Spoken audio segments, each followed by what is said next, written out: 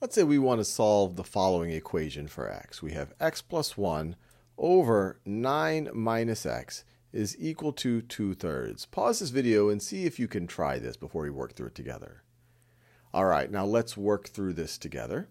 Now, the first thing that we might want to do, there's several ways that you could approach this, but the one thing I like to do is get rid of this x here in the denominator. And the easiest way I can think of doing that is by multiplying both sides of this equation by 9 minus x.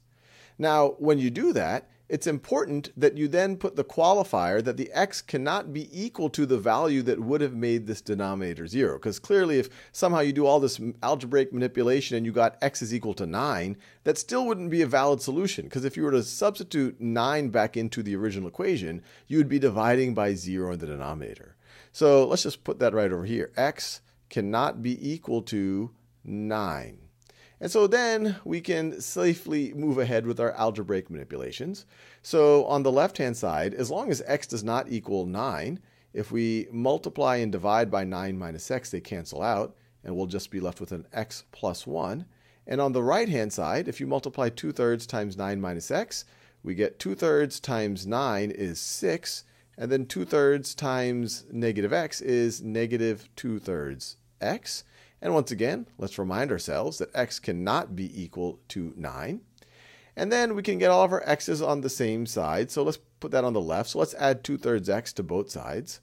So plus 2 thirds, 2 thirds x, plus 2 thirds x. And then what do we have?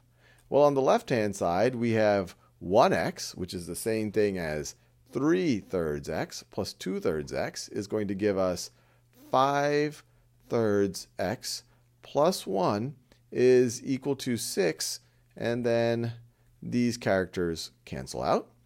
And then we can just subtract 1 from both sides, and we get 5 thirds x, 5 thirds x is equal to 5.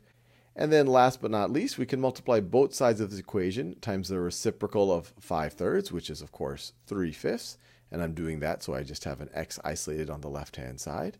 So times 3 fifths.